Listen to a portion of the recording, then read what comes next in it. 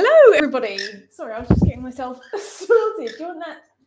Right, hang on. Let's get Charlie over. Charlie Goss. Charlie, sweet baby. Here he is. Right. Hello, everybody. Good afternoon, good evening, good morning, depending on where you are in the world. Thank you so much for joining me for another chaotic live stream where all of our training goes out the window and um, there's just noise and treats and crimsons and all the good stuff. Um, it's really lovely to see all of you guys here, and we're glad that you can make it. And if you're watching this back, thank you for watching it back. The usual, thank you so much to our wonderful YouTube channel members and Patreon members for joining us as well. Special shout out for you guys. Um, it does feel like it's been a long time since my last live stream. Um, so yeah, I'm excited to see what chaos is going to happen today. David is here helping me today, which obviously makes life lots easier. Um, and of course, we're going to get birdies out, starting as always with Olive and Charlie, um, who loves all of you. Uh, and he's having his little treat straw, so he's behaving for now. I know he's a char. He's a good baby. He's a very good boy. he's always talking all day long. It's so funny.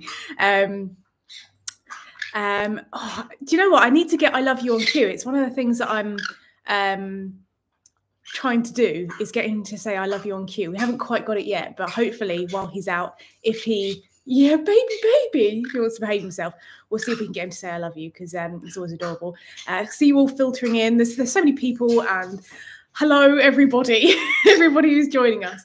Um, yes, I'm, I'm, as I said, I'm really excited to um, do this live stream today. And as always, if anybody has any questions at all for me about anything, do drop them in the chat and we will get to you. Uh, I've got a few kind of bits and pieces updates on how things are going over at BirdNerd HQ.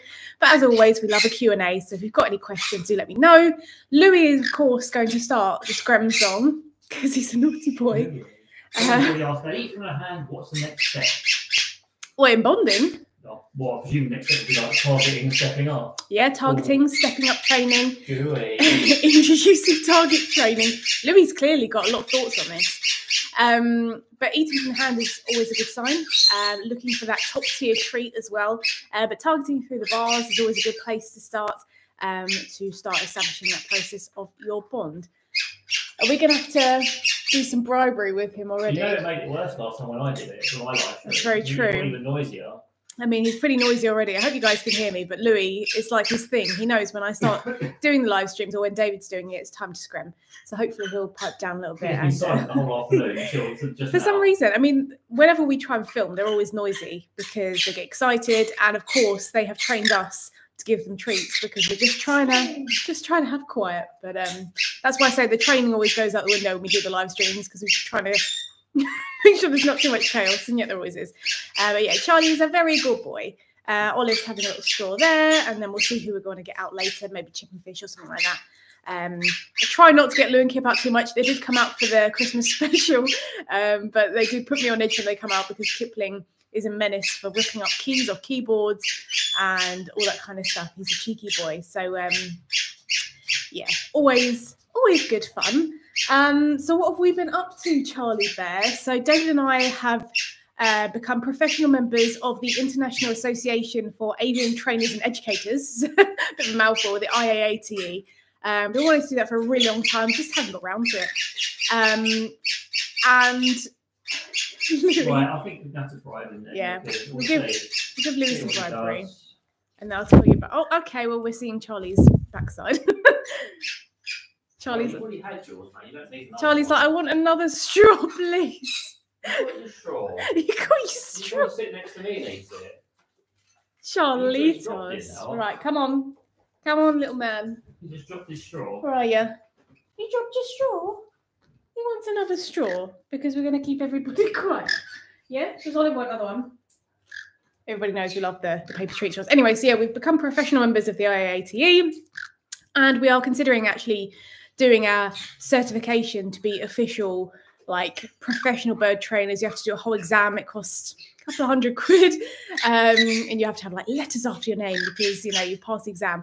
So we, again, we've been thinking about doing that for such a long time. Probably. Um,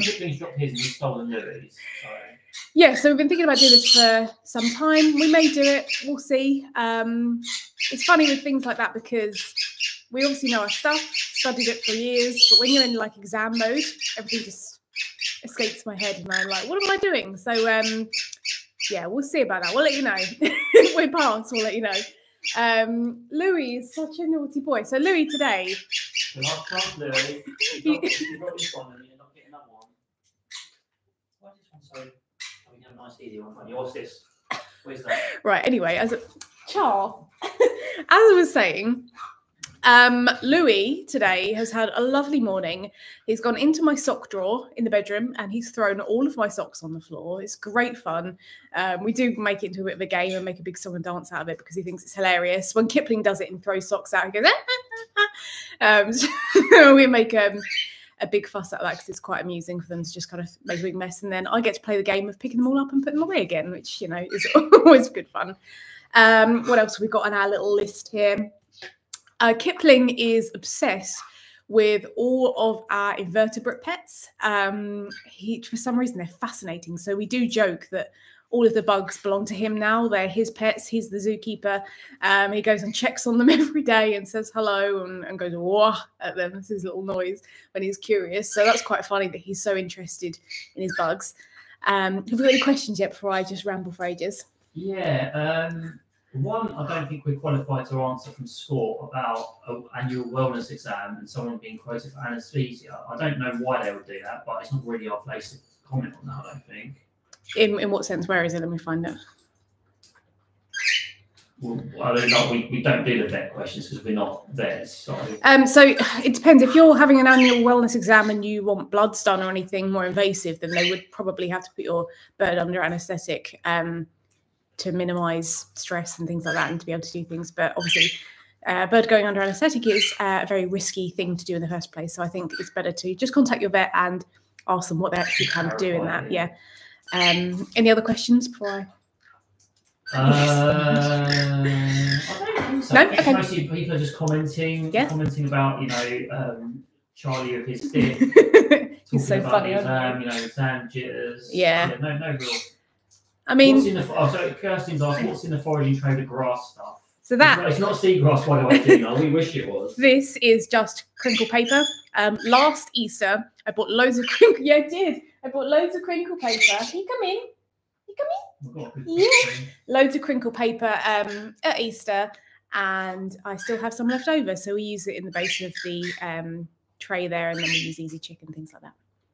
A question from uh, Fakira Khan. Sorry if I didn't pronounce that correctly.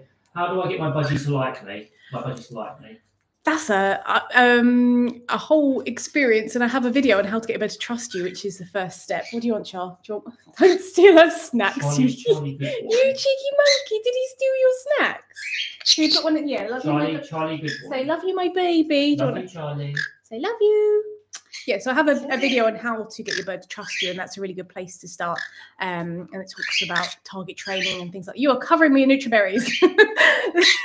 it um, talks all about passive bonding, target training, uh, and the basics there. So that's a good place to start. Thank you very much, Casey Emporia. Uh, I love the little dancings. It is a sheep, isn't it? a little sheep. Shiba Inu dancing. I love that. it's very cute. Thank you very much for your generosity. It's very, very kind of you.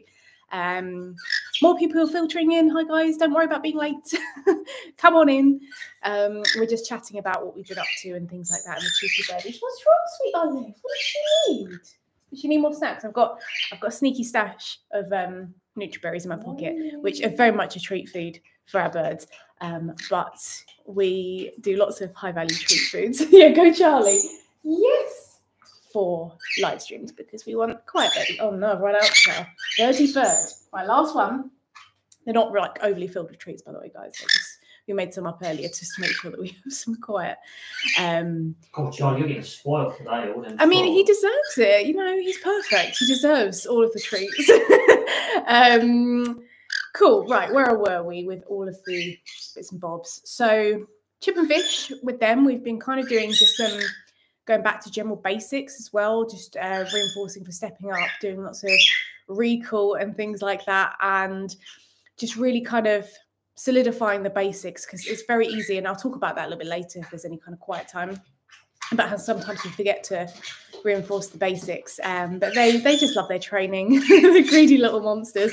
Fish um, did get a little bit overweight at one point because Chip is like always flying around and stuff, and Fish is more. He likes to walk places and he likes to be ferried about.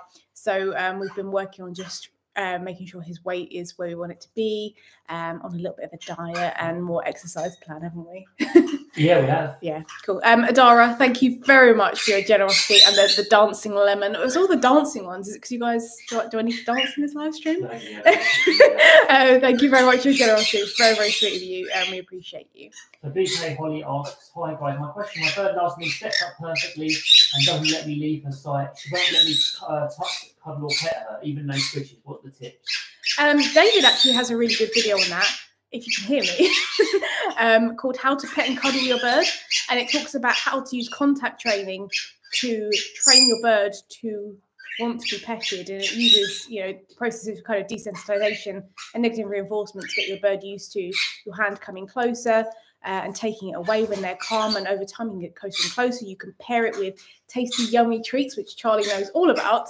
Um, to yeah, the baby, bird, to um, encourage kind of positive experiences and making sure you're not kind of pushing it to the point where your bird's like, get away from me. You, yeah, I, yeah, I know.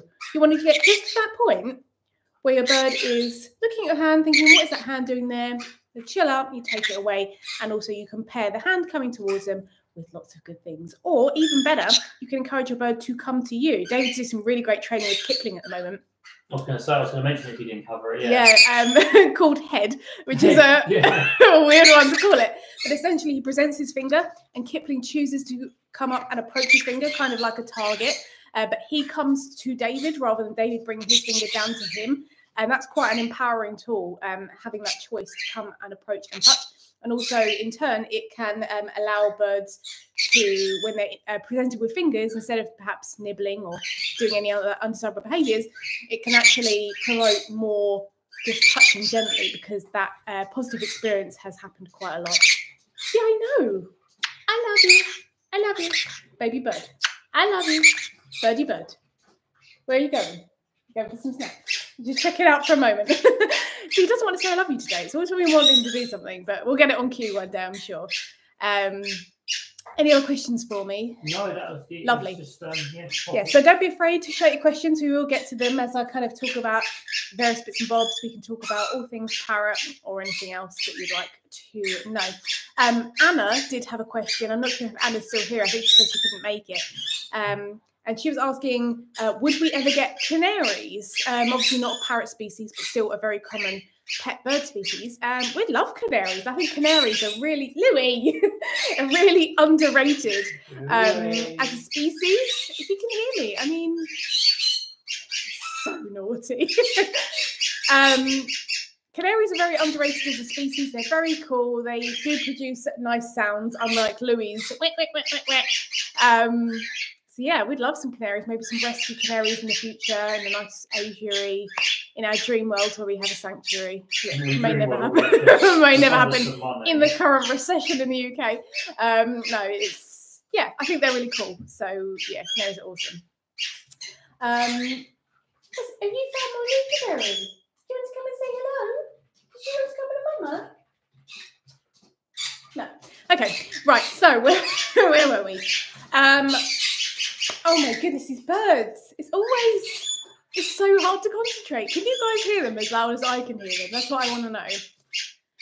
Um, are canaries and finches related? Generally speaking, they are within the kind of group of passerines, which are like songbirds, but they're not like mega closely related, but they're, they're quite similar. Um, yes, that is that's just Louis. People are just getting annoyed by it. yeah, I mean, I think everybody's probably getting annoyed.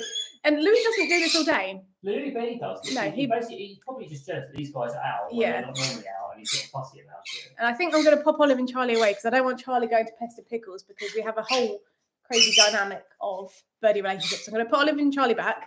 Um, and then we'll get somebody else like, just come here. Not you, Dewey, you naughty man. No, not Louis. Can you say, love you, everybody?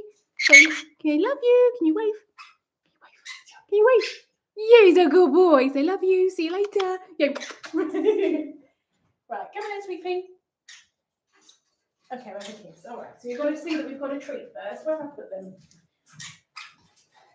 Talk amongst yourselves. um, right. So let's get Charlie. You coming in?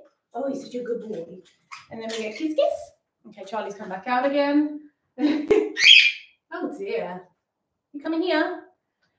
Anyway, so what we were saying is Louis a naughty boy. Charlie's decided we're only going in for pine nuts.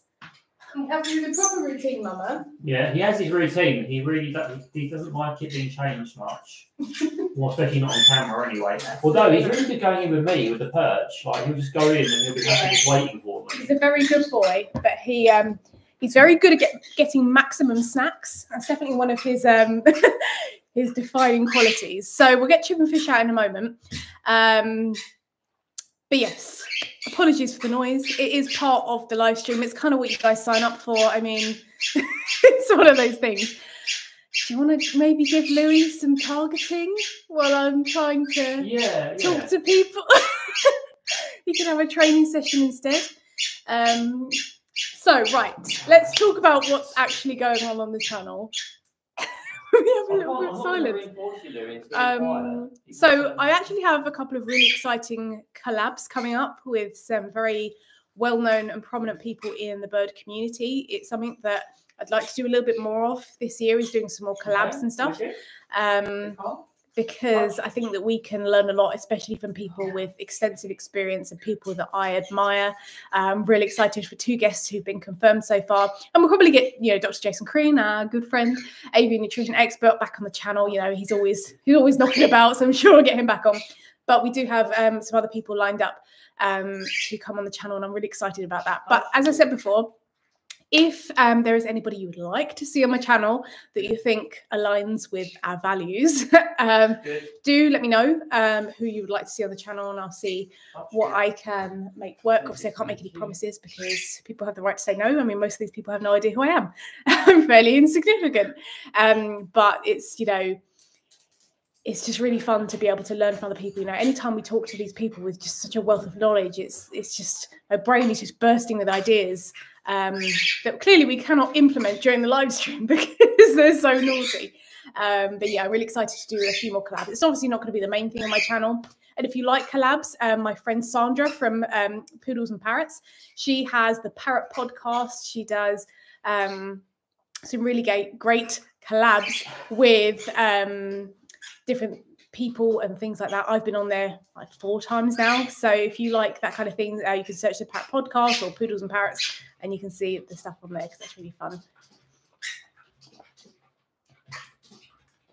David is not doing his job. He's too busy doing emails to help me with the yeah, live chat. talking to uh, like I'm talking to tarantula crews. Yeah, I'd like you to talk to the live chat, please, to help me with any questions. And then you Why can hear can't I my, my work? because you're helping me. uh, that's just Louis. Soundtrack of live stream. Always a soundtrack live stream, less size. All right. So Rishi has a question. Hello, I got a pineapple conure a week ago. Friendly, but he's pretty skittish with me at times. Any tips on how to build trust? I let him be. I let him do things at his own pace. That's a great place to start. yeah, really great place to start, respecting his body language. And a week is no time at all.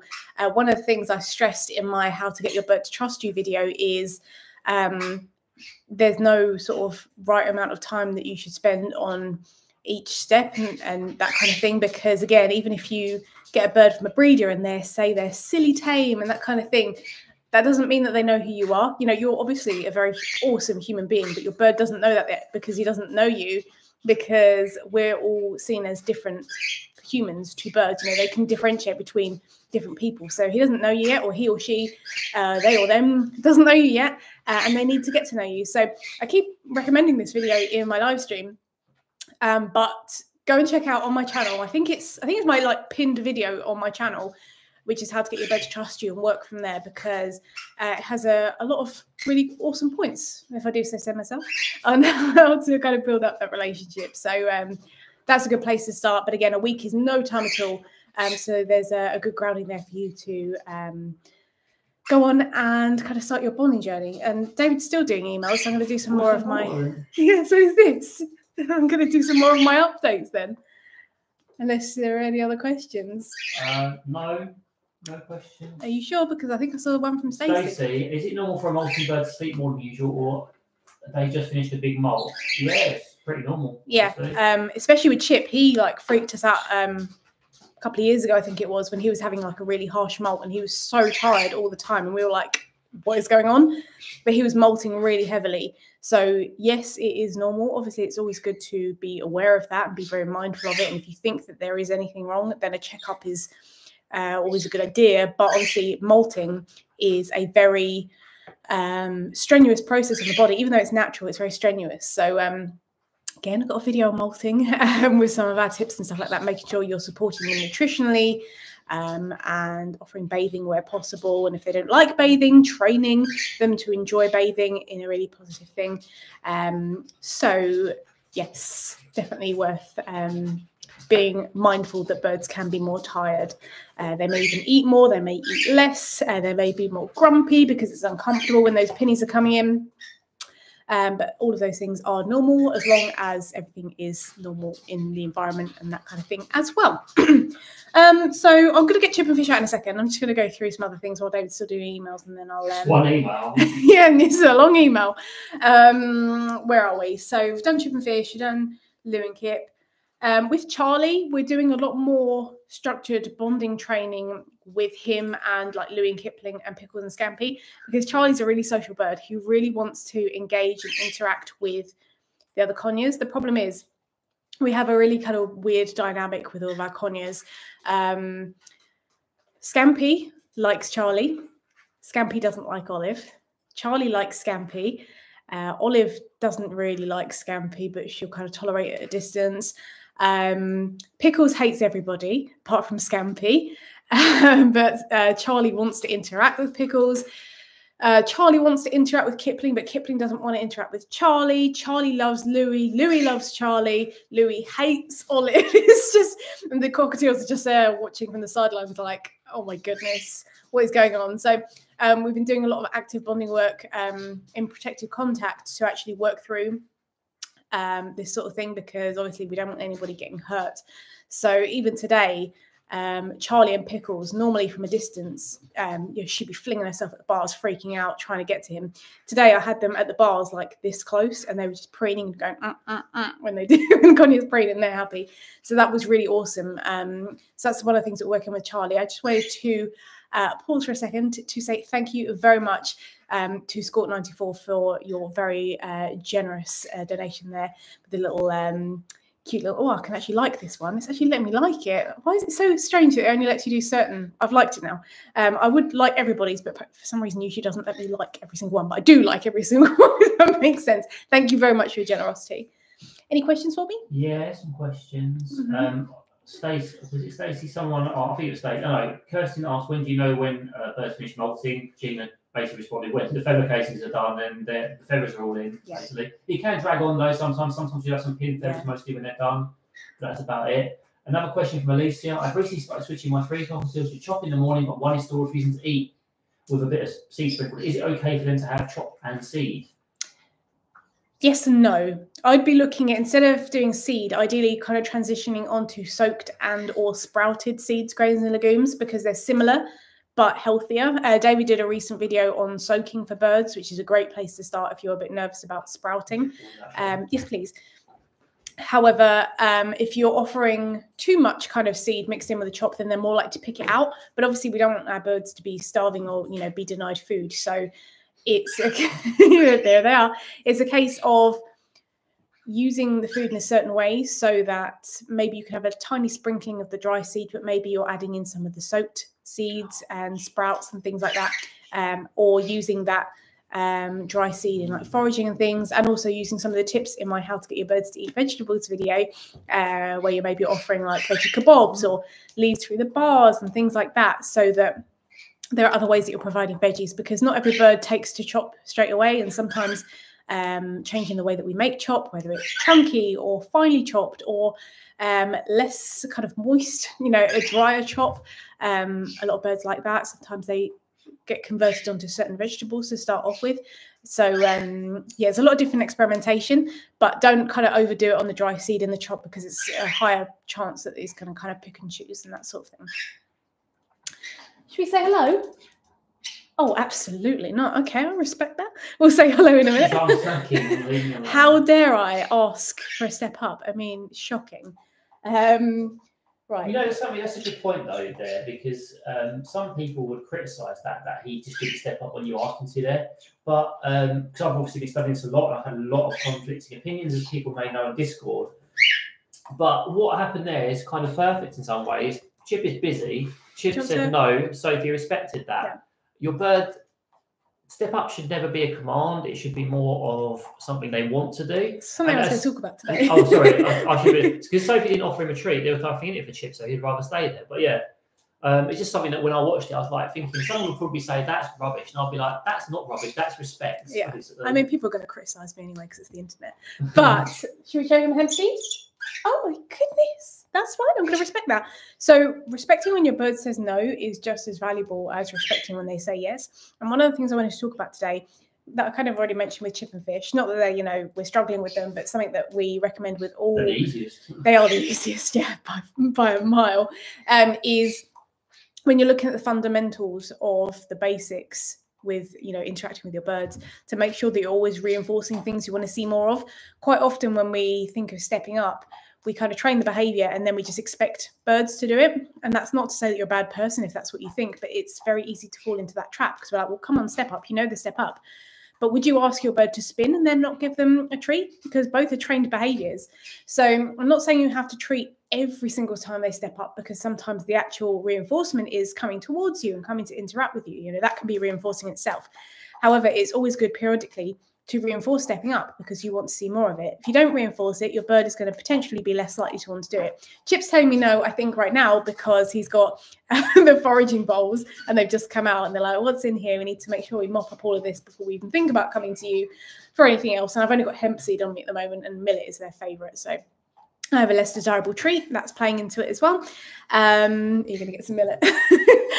so yeah, there's lots of different factors. But actually, if your bird says no and you know gives you the maw or the beak rather than a bite, you know, saying okay, that's fine.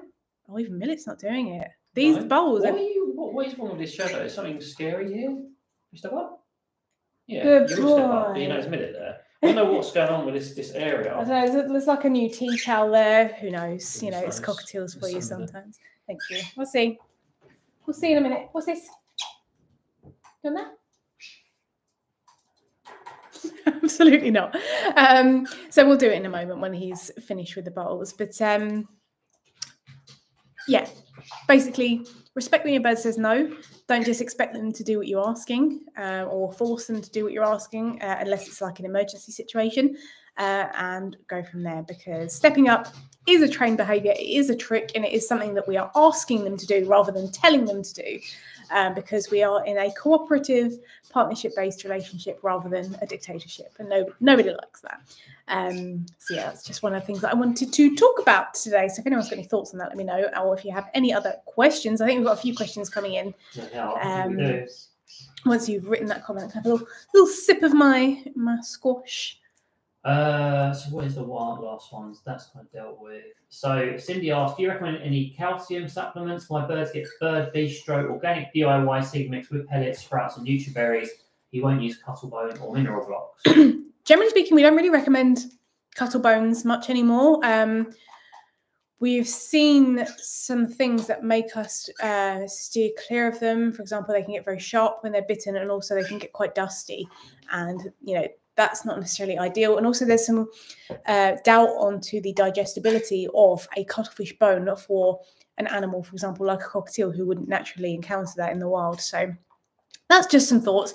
Um, really, we shouldn't be offering a, a calcium supplement unless a bird has a calcium deficiency. Uh, and obviously, there is, you know, the question of calcium and D3 needing to interact in order to actually absorb it. Um, so, unless your bird is calcium deficient, I would be hesitant to offer any kind of supplements because, again, you could be over supplementing. Um, generally speaking, we're going to be getting calcium from uh, like dark leafy greens and things like that. I do have a graphic on Instagram of like different uh, things that provide calcium for your bird. But obviously, you can always have a little check on that if you want to see the graphic. DM me or something, I can send it to you. Uh, but there are lots of foods that contain calcium, and it's better to get from that raw, natural whole food. Um, Stacey just is crusted, uh, crushed eggshells. You can, um, as long as you prepare them correctly, because you don't want any raw egg on there, and they are literally ground to a pulp, like a um, more of a dust, I suppose, because. Then you might um, have the same issue as like. But then you might have the same issue, yeah, of the the cuttle bones. So I prefer for my birds to get it from things like dark leafy greens because they have lots of health benefits as well. Hello. It's Yeah, forced in the bowl, it's the usual dry mix, but they only sort of get this combo during lives and clean Yeah, they've got a little bit of uh, extra tasty snack, like a little bit of. Um, we refer to it as like rubbish seed. I'm not going to say what we actually call it. Um, you know, the kind of like more treat seeds with safflower, a little bit of sunflower, um, and some millet. And yeah, I know, and some canary seed and things like that. Um, would you like to say hello to everybody? Is that what you'd like? You would. Okay, that's, that's nice. say hello. It's the big boss man. Such a big man, aren't you? A big man. Yeah, you say, thank you. What have you got on your nose? He's saying, hello, everybody. Thank you so much for coming to the live stream. My name is Mr. Fish, and I have a lot to say that is more pleasing to the ear than Louis screaming. Have you noticed that Louis has been quiet for a while as well? because it's just the other two. yeah, he because Louis quite likes Charlie, but he doesn't like Olive. When they're out, they can be a bit like, well, why are you getting all the snacks? And that's not to say he's not getting the snacks, but you know what they're like. He's just being a bit fussy. Yeah, he is. Uh, Good one man. question Rishi asked about uh, target training. I said just use a short stick or maybe link a stick to something good before introducing it to the bird. Lemon Rice had a question. I'm friendly with a conure. We're curious if it's a social benefit to let them meet and interact with supervised play dates. Any thoughts on this idea and any tips? yes, you could. There are some things to consider. So Hello. I would have both Oh, birds personally. If, if this was something I was going to do, have both. bir- Okay, bye. have both birds disease tested because there are some things like PBFD and avian virus that you may not see. You know, just if they're carriers or anything like that, and they are very serious. Um, and obviously, you wouldn't want one play date to put your bird in danger. So I would say disease testing for those things before you allow your bird to meet any other birds, just to keep everybody safe, because that is that's what we want. um, but yeah, you could go for a play date. Obviously, you have to expect the worst that they may not like each other, that they may want to have a scrap. Um, have a first aid kit on hand, have plenty of communal activities that they can do, like foraging, have separate stands, separate resources as well, so that if they don't want to interact with each other, um, they can be apart. Make sure that they're travel carrier trained. So, you know, if they want to just go and have some separate space, that's fine as well. Um, do you have any other thoughts on that? Um, I wasn't really paying attention. Oh, great, perfect. um, yeah, disease testing would be my my biggest kind of like warning thing for that, just to make sure that any bird that your bird comes into contact with is also um, healthy and things like that. So Rishi also asked, how do you know, this kind of relates to a previous question, how do you know that two conures are bonded enough to share a cage? You've got a great video on that, haven't Yeah, I've you? got a couple of videos on this topic. Yeah, so I've got a video on how to bond two birds together, um, but David has a video on how to know how to know if um, birds can You, like you, come here. This lazy man. I'm not flying. come here. Big boy fish. Yeah. Um, David has a great video on like how to get two birds to share a cage. Um, one of the main things is um, obviously to have a cage big enough for them to be trialed with, but having those cage trials. So with you know our bonded birds, especially with like Olive and Charlie and Pickles and Scampy, who we kind of bonded up ourselves. Um, we did like half an hour of being in the same cage together with food and water on one side and another food and water on the other side, so separate resources. And then we watched them for half an hour and saw how they reacted. And it was all very positive. There was no scrapping, nothing like that. If there is scrapping, maybe you want to do shorter trial periods um, and maybe do it when they are expecting a meal. So they're more likely to just kind of be away from each other and snacking instead of um, being interested in the other. But you have to do a lot of active bonding work in the first place before you can get to that point. Anything else for me? No, no. No, lovely, cool. Um, yeah. Any other questions, guys? Drop them um, in the chat. Just so uh, casing Emporia. How can anyone not like Olive? I know. Um, for some reason, some of the birds just really. what- what- I don't know what that big. that? What- Does it- how- how- we didn't do that. Who did that? Does it? Does anybody know why there's a big thumbs up on the screen just now? Maybe if I try liking something. Did somebody send that to me? How bizarre. That was. That was really odd. Like I I- yeah. If- YouTube's very odd. these like, guys? Guys, own up. Who who sent the big thumbs up? Because I have no, no idea. Does that mean basically now that this, this, your, this live watching numbers zoom up because YouTube's directing you somewhere? Does that mean that I'm YouTube approved? Does that mean got a like? just got a, a mysterious like? Um, how bizarre. Okay, I mean we'll roll with it. It's yeah, fine, cool. Do you like that? Does Chibi like that? Does Chibi? Okay. Okay, hello, friend. They're just in a really everything's a bit weird today. So um, okay, fair enough. What was I even saying? There's a question if you'd like to Yeah. Just- Sarah asked, Hi, how long after taking your bird home should you wait to bring it to a vet for initial health check? Vet's new bird package includes microchip and DNA testing. Is that too stressful for a first visit? Thank you. I don't know if anybody heard that. You may have Did to. hear that? I, I heard As most of it. you Yes. it. So we're talking about after you bring a bird home, how long should you leave it before going to the vet? There's be honest- quite a lot of things going on here as well, though. Yeah. testing. So there is a, a lot of testing involved. However, say for example, you wanted your bird to be home for like a week or something, that might not be enough time. How long do you actually want to leave it before taking to the vet? And also, if you start building up your trust with your bird and then you take them to the vet and you lose loads of that trust, then you might be back to square one anyway. So it really depends on the individual bird and how flighty, how nervous, how anxious, how stressed they are, and whether it's worth just kind of doing it right at the start. Yeah, there's some petty pets in the background.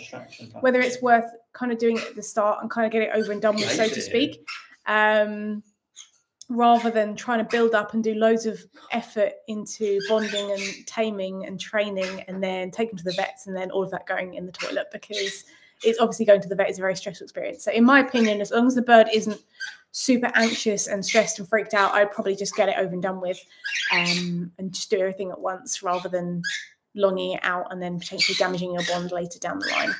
That's my opinion. Doesn't want tested up. It's not. It's not fact. I mean, do you want to come here? He and has in do, the, wants it in the chair. Do you want to come here and have some pets and mother? Do you want some? Do you want some petty pets? I'll have it in the chair. no, no. Do we want some petty? Lemon's got another question as well. Yes, please. How would you approach a required, a required bathing session? Sometimes my 20 year old gets something on her. She only been ketchup once, and I worry I'm breaking trust with a forced bath. Um, I I would. think I'd do a forced bath. I yeah, I wouldn't do a forced bath. I would maybe maybe tailor when you're having snacks and pop um, her away during that time. We typically don't have our meals when the birds are out because they probably would just come and land in it, you know, in in the barbecue sauce or whatever it may be, and they'll be covered in it, and then they'll smell weird for ages and potentially be stained.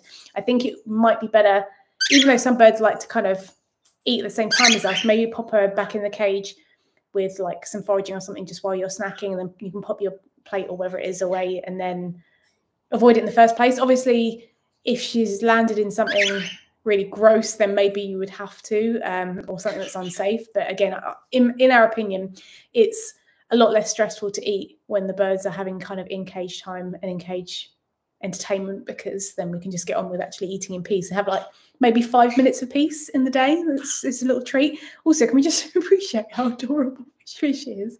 You're a soft man, aren't you? Someone needs to. I- I've got another theory. Someone needs to like the actual live stream, like physically like it, not like in the chat box, but like the This live isn't stream. this isn't fishing for likes, by the way. No, I mate. want to see. I want to someone does it. I wonder if it will like make that thing appear. Maybe that's what it's for. Yeah, so not like liking in the chat, but the actual live stream is if you were liking on live videos. Because I've never seen that happen. No, me before. neither. Like, I've never ever seen that. It so can't be the first- it can't be the first time that that's happened though, unless it was a delayed reaction to me liking one of the Maybe. generous uh, generosity things in the chat.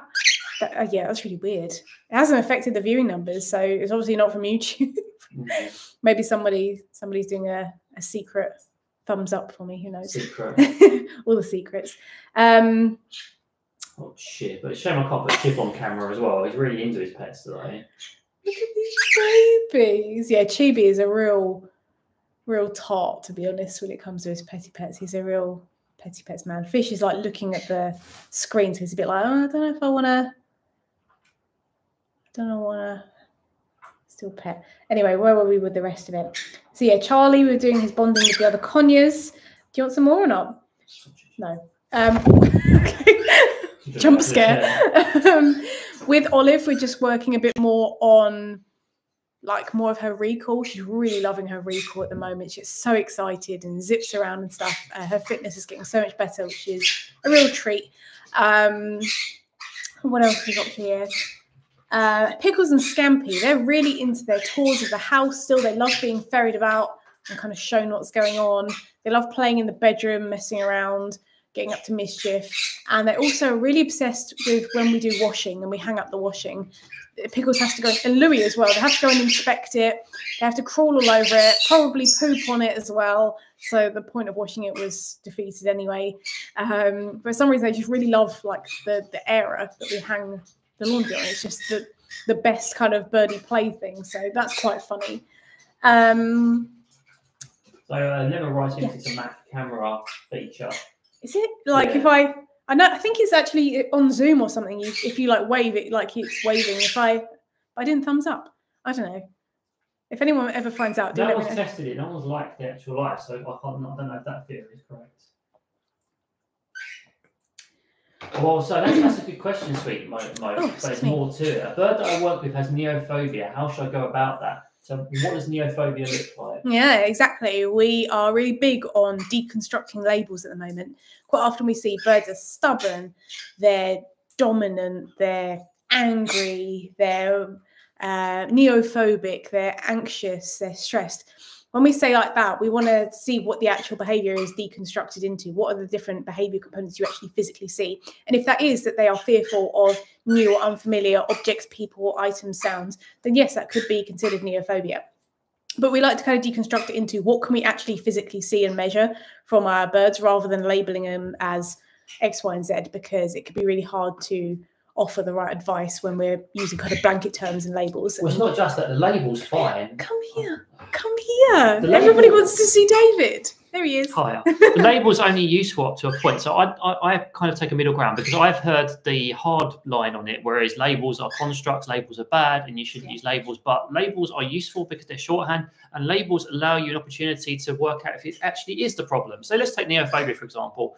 The components of neophobia may be um, fear of new objects, obviously, that's the definition. It may be a fear of hands specifically. It may be a fear of different places in the house. It could be loads of different things. And it could be also the behavioral components of it, like um, hissing at certain things or backing away from certain things. And then when you take these little puzzle pieces of the construct, you start to put, you start to make a label. And if you have all those puzzle pieces, then the label's valid, and it is that. If you um, only have a couple of them, then maybe it's something else that's causing it. Maybe it's just a specific fear of hands. And then what's even better about seeing it in this uh, light, which I find really helpful for the way I think about it, is when you start looking at individual pieces, you can start solving the individual pieces. And when you start taking pieces out of that big construct, then the construct no longer exists. And you, you don't have a neophobic bird or a hormonal bird because you're taking the individual components and deconstructing them. And also, on top of that, you're solving problems. So the more problems you solve, the less likely you're going to have that label and then you're going to have a happier bird. And I found that a much more helpful way of looking at the word construct rather than saying it's a label, you shouldn't use it and it's bad. You know, it's, it's just more useful to people that way. David, if you haven't catched up, catched up, that's not that's poor English. If you haven't caught up on his previous live stream or any other socials, um, he's currently studying a course in like applied behavior analysis and things like that, and just doing even more CPD for us being, you know, bird trainers and stuff. And um, there's been a lot of interesting uh, bits and bobs coming out of that course. But yeah, um, we obviously have to use labels when it comes to like YouTube videos and things. Otherwise, our videos, I mean, our videos barely come up on search terms anyway. Yeah, I mean, let's, let's have not to go down, try- let's not go down we're not going route, down that route, but um, I'll I can talk about deleting all my shorts in a minute. yeah, we'll want. talk about that. Yeah. Um, but yeah, we, we do use labels for the convenience of people finding our content and then we can offer solutions. That's not really what you asked though. What I will say though is I do have a video on neophobia um, and desensitization is a huge part of that and actually getting your bird used to um, you know, new things in a way that is not invoking fear or lack of choice. That's something you want to avoid. Want? Nobody's here for me. Why are you guys not? Why are you guys not on the I'll live stream? Why don't you just come and join me and we can talk about uh, you deleting your shorts because shorts are something that are driving Yeah, a lot of pe- not just us. A lot of people are getting really, really disenchanted with shorts, and for various reasons. As you, for you guys and the viewers, it's all the same rubbish that's on TikTok, but worse quality. And you know, you'll force them. For us as creators, we don't follow trends, so they don't give us We're anything. not doing any dance routines. are we don't do dance routines apart from like um, this is a good reason too. Kazad's obsessed with certain things like that. Um, so yeah, anyway, it's just not really very useful. And I deleted all my shorts basically on the advice from other people because they just fed up. I'm fed up with it. I don't want to support it anymore. And I want people to actually see my educational content so I can help people. I don't care if someone sees Chip doing a trick. I can do that on Instagram and people, thousands of people see it on YouTube, a few hundred. If we're lucky. It's so frustrating. I, I really am frustrated with, well, we both are at the moment with the way YouTube is going, you know. And our goal is more, is less about money and more about helping the maximum amount of people. We, we want to change the world. And as, as a grand, uh, we probably won't achieve that, but we, we want to help as many people as possible. If we can help one bird, then that's that's a job well done. Obviously, we need to pay the bills as well. So yeah, that's, you, that's the other problem. We do actually need money. YouTube, if you're listening, please share our videos to someone.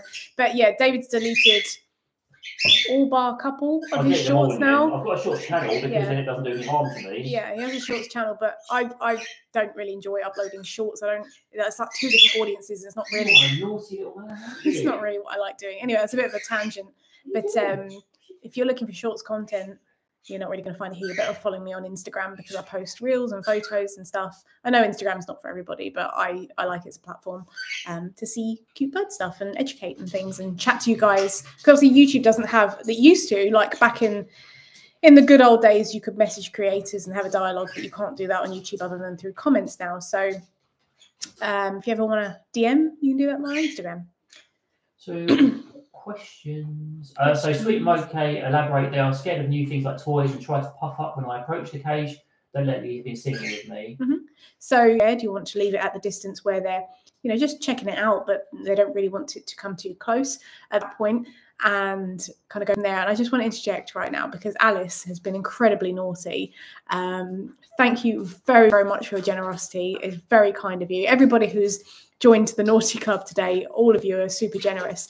Um, but yeah, very, very kind of you. Uh, we appreciate you. We're really glad that you're part of the community. Love the little emoji of um, a little dancing kind of pair in the city um, like this. Maybe I should just imitate every single emoji.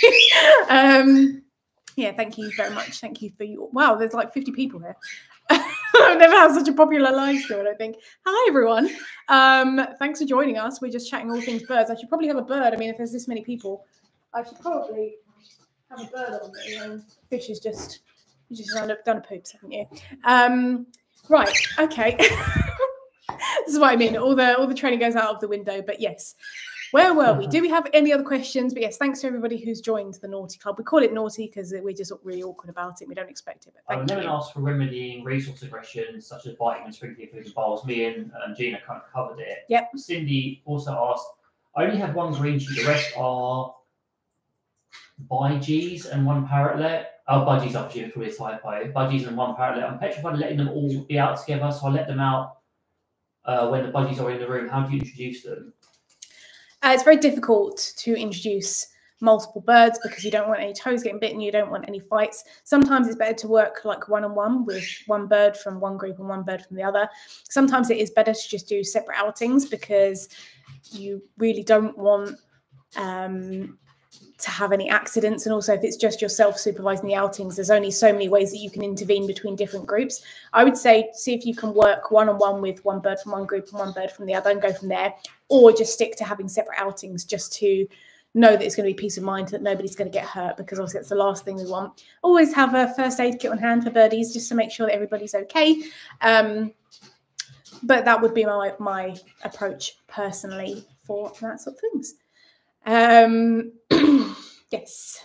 Uh, Ned, Ned does. Ned, a lot. It's actually not just Ned. Ned, Julia, other people are sort of commenting about how they find shorts annoying. Shorts are really annoying. if, if they'd done differently, I'd, I'd have been alright with them. I was like okay with the idea at the start, Ish. but honestly, I you think know, that they just don't really have a place on YouTube. You've got Instagram, you've got TikTok for short form content. YouTube is for long form, for education, for longer entertainment. I just don't think it's the place for it. And I think it's um, been very bad for a lot of channels, including ours. I don't think it's any other questions. So if you've got other topics, then Um, yeah, I do have a video on building a first aid kit. I have two actually. So uh, do check those out. It's always good to have, regardless.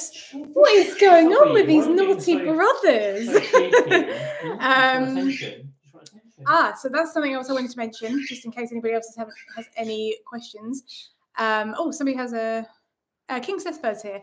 Um, do you have any cockta- uh, do your cockatiels enjoy Yes, the there's something again, straws? man, just pop up again. You Did it? on something. I'm not doing anything. I just. want- Does anybody know? Why is it doing it? Why is this the first live ever it stream? before. it's not like a new feature that we've been told about. How strange! And then like all of those people just left as well. Is this YouTube? Hello, hello. That's what Olive, Olive loves saying. Hello. it's so cute.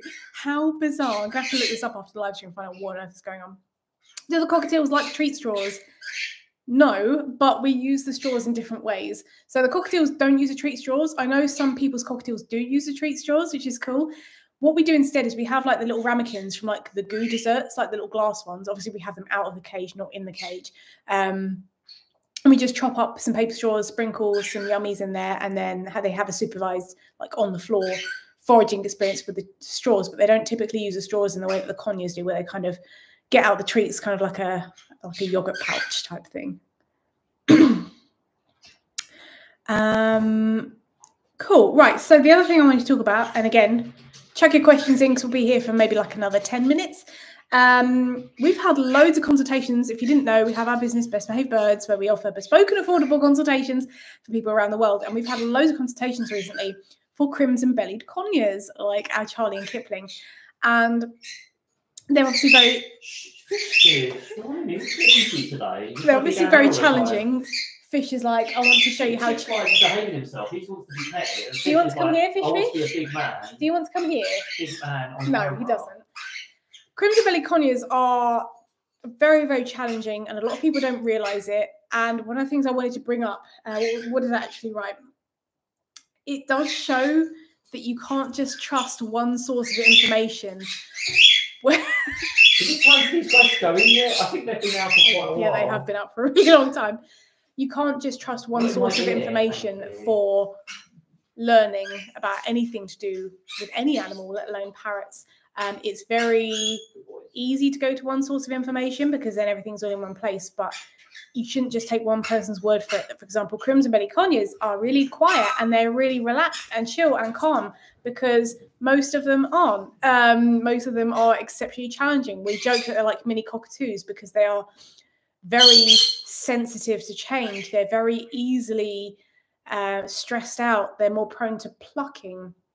Before I carry on, I just want to say thank you very much, Klaus, uh, for your generosity. Thank you. Uh, and then we've got like the the jumping. I'm not going to get up and do like jumping jacks, but thank you very much for joining the Naughty Club. You guys are really, really kind. Thank you. Um, yeah, trusting one source of information. It's something that me and David keep bringing up. You know, as much as we love you guys coming to our channels, we always say, question us. Why are we saying this? What are other people saying? Is there a general consensus that something is right? Is there new information coming out that maybe something that we've always done can be done better or done differently? And we talk about a lot when it comes to diet uh, and that kind of cultural shift. But um, yeah, if, if anybody, any influencer, any trainer, anybody says you should only stick with us, uh, I'm the, the font of all knowledge. I have all the answers. That is like big, like red flag, um, not to be trusted because nobody has all the information. They didn't get all of their information from one source either. Uh, neither did we. Always learning, and you know, there's nothing wrong with getting information from all sources and doing a critical evaluation of is this accurate? Does this align with my values? Is this something I actually want to do with my birds? What does this actually mean? Um, and yeah, we see it all the time. All the information about crimson belly conures online is like they're so sweet and so gentle, and you know, I mean, they are lovely. Don't get me wrong, we do adore them, but they are. Charlie and Kipling, let's not lie, they are our most challenging birds to work with. Yeah, and Um, I think the, the thing is, this isn't just us saying we've got anecdotal evidence of Charlie and Kipling. This is what other people at Crimson say. And Yeah. the more we talk to other Crimson owners, the more we learn about Crimsons, the more it is kind of their species. You know, they, Yeah. they are much more difficult than green cheeks, and because they're marketed like green cheeks, They're nothing like in- they're nothing like green cheeks Yeah. They're very different. Even their bite force is very different, and um, people shouldn't expect them to be the same just because they're in the same genus. They are very different species. Um, and yeah, we do we do consult with a lot of crimson belly conure owners, and it's it's quite a common thing. So that's something to bear in mind. Gina, right? I need to like. It's actually letting me like your very oh i can love it as well amazing uh, very very generous um, donation thank you very much gina we appreciate you we are very very glad that you are in our community we love you um, really glad that you are here today. Um, yeah thank you very much. Any other questions? Because i was just rambling for I think. Gina responded, but um, I mean, Gina, it's not quite true. So um, Patty asked, "Do your cockatiels and connies get along?" And Gina said they don't get the cockatiels and connies out together because the connies try to bully the cockatiels. No, that's not technically true. not technically true because there are some Olive doesn't bully the cockatiels at. No. She's happy sitting near them. Olive, well, She Olive is more than happy to be out with the uh, cockatiels as long as they don't approach her. Um, Even then, it's, it's, it's only No. when she's next to the food bowl that she doesn't want them next to her. Otherwise, she's quite happy sitting near yeah, well. Olive Olive is quite happy to be out with the cockatiels. Scampy's okay to be out with the cockatiels, but because he's always flying around, he's like a little fighter jet, just zipping around all day. They're a bit like, what is going on? And they can get a bit funny about that. Um, Pickles can be out with cockatiels, but again, they, she doesn't like them coming too close, especially if she's cuddling with David and they come up. She's like, no, I'm having my daddy time at the moment. Um, haven't tried Lou and Kipling out with the cockatiels, and I have no intention to because Kipling is Kipling. Uh, Louis would probably be okay. Yeah, I can't imagine Louis having a problem with them. The problem Um, is, Charlie would probably be okay as well, but again, it's not. Um, it's not something that we feel like we need to do. no. Um, Olive will come out with the cockatiel. She does that some days anyway. Same with pickles. It's not something we really feel like we need to do. Um, but conures are challenging and they can sometimes uh, lash out if uh, a bird invades their personal space. And we obviously don't want any conure bites, especially not crimson conures. Um, crimson belly conures, their bite force is significantly stronger than a green cheeks. Um, even though they look very similar, their beaks are very stocky and they know how to use them. So we definitely don't want anybody getting bitten by crimson belly conures, let alone the cockatiels, because this it would not be very good. Yeah, um, we don't recommend crimson belly conures for anybody, to be perfectly honest. And that's not us, you know, sitting on a pedestal saying, "Oh, we've got them, but you can't have them." That's not our intention at all. We just want to warn people of what they're like. And yes, we put a lot of time and training and effort into working through some of the undesirable behaviors, but some of them are kind of like species traits. And obviously, we are in an environment where we have a lot of birds. We haven't got as much space as we'd like to have. We have plenty of space, but not as much as we'd like. They're obviously not in aviaries. Um, just because Charlie and Kipling are both crimsons does not mean that they, you know, want to be friends. Charlie wants to be friends with them. Kipling's not sure yet. Um, yeah, they're beautiful birds, and that's probably why people go for them. Um, but unfortunately, they are not the right species for 99.9 recurring percent of people. Two, there's a question from Honey Tea. How to know if my conure loves me? What's the obvious signs? I've kind of got videos on that, but um, let do that and I'll read out Stacey's blog. So I, I find it interesting what she just said. Um, yeah, wh- what is what is love? what is love? That's the existential question. What does love mean? Like, does your bird want to spend time with you? Do they want to cuddle with you? Do they love you too much and they're hormonal? What, what does love mean? If you mean, are they, t- I don't really like the word tame, but are they tame? Do they want to participate in training with you? Um, do they want to be in your close proximity? Do they allow you into their personal space bubble? Those are things that I'd be looking for. The bird loves you, but David has videos on like how to tell if your conure loves you because again, it's Well, like, I, It's I don't think I said love, did I? I said like. I Like, to, yeah. it's clickable. So But um, Stacey said something surprising to me because ob- obviously we haven't had one of these little fellas. We've only interacted with them elsewhere. So Stacey said, I feel that way about uh. I love them, but would not recommend one. But there's so many cute videos of them. People all want one. Yeah, I mean, caiques are one of the least rehomed parrot species because generally they cope better in an unnatural environment like a home.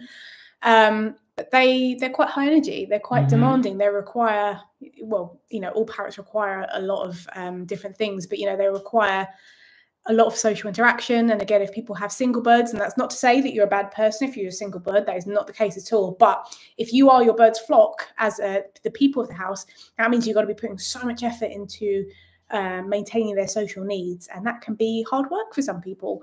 Um, and again, you know, some of these problems online come from people seeing TikToks and stuff of birds doing silly things, you know, caiques just hopping around and stuff. And they think, oh, I'll just go and get one. And just the impulse, that's, that's not even the word, impulsiveness, that's a, that's a word, I can't speak today. The impulsiveness of, you know, seeing some cute videos and just going and getting a bird is obviously awful.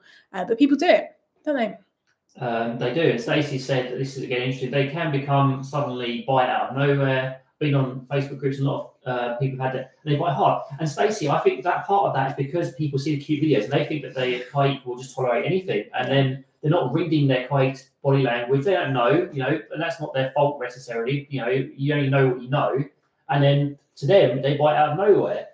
And then I'm not going to go into the biting topic. There's always a reason for a bite, but you know. Yeah, yeah, you know, and you know, they do bite hard they've got even stronger beaks. I'd, I'd say they're probably stronger than a crimson belly. if they really wanted to, because you know, we went to a, an in-home consultation um, the end of last year, and it was with a. It's absolutely lovely bird, really, really, um, really nice bird. Um, but you can see the size of that beak in person, and they are like physically bigger than you know a conure, for example. Um, they're probably similar kind of like physical body size to a cockatiel, I would say, like in height wise, from like But they're from- aren't they? yeah, they're stockier, but from like toes to the top of the head, not including the crest, they're similar kind of proportions, but they are a bit chunkier. um, but yeah, you know, sometimes you need like real life experience and obviously taking it with a pinch of salt with how other people are treating their birds and what they understand you we had that thing we did? We um, talked about that um, Korean channel. Oh yeah, well. so if you um if you go on our website bestbehavedbirds.com, we have a little like in the media section, and we actually um, consulted for um, a family in South Korea, and it was on TV in South Korea, and they've uploaded that video on YouTube. Obviously, they only use like I don't know maybe uh, Five- minutes out of, out right, of two- like two minutes out of like an hour's worth of consult. But we did help these people. So if you want to go and see that, that's on our website, bestbehavedbirds.com on the in the media section. That was that was fun. Uh, but we do love caiques, maybe one day again. But I don't know. I don't know how we're going to do it. not here in our dream world, in our rescue. And I am actually going to wrap things up um, in just a moment because we've been going for like an hour. Yeah, Iris saw it. it was it was good fun. We, we actually thought it was like fake when they first emailed us. We were like, why these? Why, why us? um, but you know, Google is doing us some favors at the moment. We're actually we're ranking on Google. I don't I don't mean to brag, but Best Behaved Birds is, is ranking on Google. And you know, if you guys go and click on our website, that's an easy free way to come and help us out because Google likes that. Um, but yes, I'm going to wrap things up in a minute. So any last minute questions, drop them in the chat. Otherwise, um, we will be going to make probably something undesirable for dinner. Yeah, There's- undesirable. there's no reinforcement for dinner. I'm well, not. It's primary reinforcement that we, we need we need to eat. Yeah, it's. It's not, it's, not very it's tasty not pizza, any way. is it? You know, it's, It's not anything, gonna be basically, something well. lame. So we unfortunately have to go and um, go and cook that in a moment. But yeah, um, I just want to say a massive thank you guys for being here today. It's always fun and chaotic and slightly stressful to do live streams, but it's really fun to actually talk to you guys um, kind of live. And speaking of talking to us live, if that's something you are interested in to live chat David and I, you know, we always do a little plug for our Patreon. Um, or if you'd like to join YouTube channel members, you may have seen some of our channel members in the chat. You get custom emojis and you get a little picture next to your name and it comes up in green to show that you are special. Um, if you join either YouTube channel members or our Patreon, um, you can have access to our Discord server, which is like a live chat forum um, where you can live chat to me and David and all of our members. It's a really nice, safe space for you guys to come and ask for advice, share cute bird uh, photos and memes, and just make kind of birdie friends. So, uh, all the links are just everywhere in my Instagram bio or on my page and stuff. If you want to go and check that out, uh, you're more than welcome to. But yeah, thank you so much, guys, for joining today. Um, it's been really fun as always. And um, I'm really glad that you guys came. There's no other questions, are there? Super. I don't think there are. So, uh, on that note, I'm going to wrap things up. Thank you so much for coming. I hope you guys have an amazing rest of the day. Uh, take care, and I will see you on the next one. Bye.